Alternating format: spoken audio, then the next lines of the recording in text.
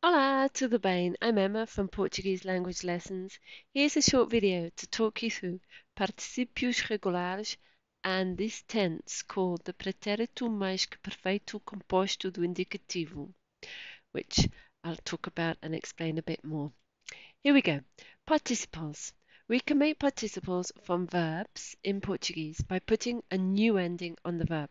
Okay, there's two different ways to do this one, the big group of verbs ending in AR, we take off the AR and switch for ADO. So we end up with things like falado, jogado, parado, pensado. Or we've got words, verbs that originally end in ER or IR, and these ones will switch the ending to IDO. Comido, bebido, partido, divertido, even ido from the verb ir. That is totally correct. Okay, so these are um, participles. There's also a few irregular ones, but we'll talk about these later. Okay. These can be a bit confusing for language learners because when the English form ends in ed, so we're talking about things like played, enjoyed, etc. In English, that's the same as the past tense, the PPI. But remember, the PPI in Portuguese would be for these verbs joguei, jogar, jogou, jogamos, jogaram, divertiu, divertis, divertiu, etc., which is very different. Okay, so al although we've got sometimes the same in English, we have to think is it a past tense verb or is it a participle? Okay, so that's um, one common point of confusion. Now, Participles, they're not verb tenses. They are used to make verb tenses and sometimes adjectives. So they are not conjugated. We do not change them for I, you, he, she, they. But they can sometimes change their endings to u, to a, to ush, to ash. Okay.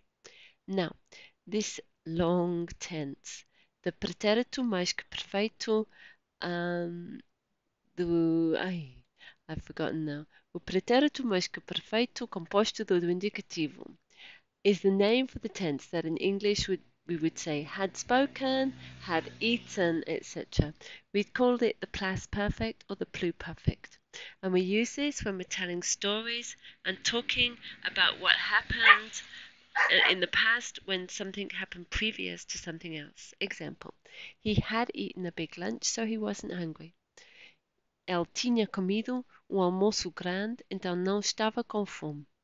Now this is a super simple tense to make really easy. Um, here we use the verb ter in the imperfeito. So tinha, tinhas, tinha, tínhamos, tinham. And then add in the past participle. Something like estudado, comido, partido, um, whichever the main action is in the participle. We don't need to change the endings of the participles ever. Now, it's often found in sentences with the PPI, the past tense, and the imperfeito. A clue for whether we're dealing with the pretérito mais que perfeito um, composto is the word já, already. So, já tínhamos preparado o almoço, por isso podíamos descansar. We had already prepared lunch, and for this reason we could rest. Vieram mais cedo do que tinham combinado. They came earlier than they had arranged is another example. Okay. Okay, so that's it. I hope that's been helpful for you. Ciao ciao.